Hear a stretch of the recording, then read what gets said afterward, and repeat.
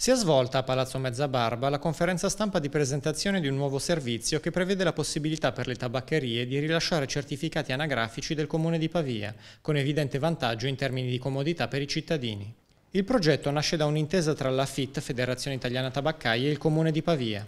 Presenti all'incontro il sindaco di Pavia, Mario Fabrizio Fracassi, l'assessore al turismo, commercio, artigianato e politiche economiche Roberta Marcone, il consigliere con incarico al progetto Smart City Roberto Mura, il presidente provinciale di FIT Pavia Gianluca Finardi e il responsabile per il Nord Italia di Novares SPA Paolo Conti. Questo è un discorso di semplificazione per andare incontro a quelle che sono le esigenze dei cittadini e quindi poter avere un certificato dalla mattina presto quando aprono i tabaccai ad arrivare naturalmente fin quando chiudono, quindi con una possibilità di acquisto di almeno 12 ore e questo in alcuni casi anche per 7 giorni alla settimana. Ulteriormente c'è anche un'altra facilitazione che se io mi trovo a Milano piuttosto che a Torino o a Palermo e appena partirà tutta l'operazione posso chiedere i miei certificati anagrafici anche in questa città.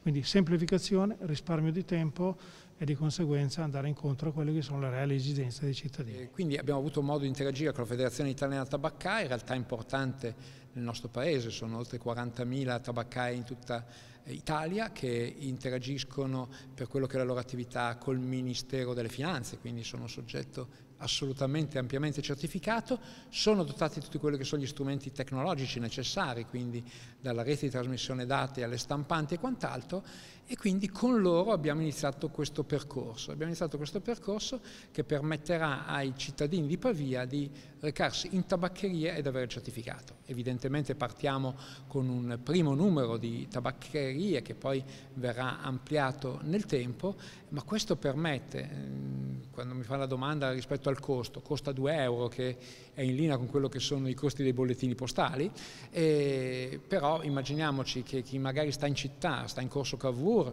non ha nessuna difficoltà a venire in piazza del municipio. Chi magari sta al vallone, tra prendere la macchina o l'autobus, arrivare, perdere qualche ora, pagare il parcheggio o quant'altro, i 2 euro penso che siano assolutamente ben spesi. Quindi importante precisare, non è una tariffa comunale, ma è una tariffa di un fornitore esterno che offre un servizio importante che va nell'ottica del miglioramento della qualità dei servizi ai cittadini.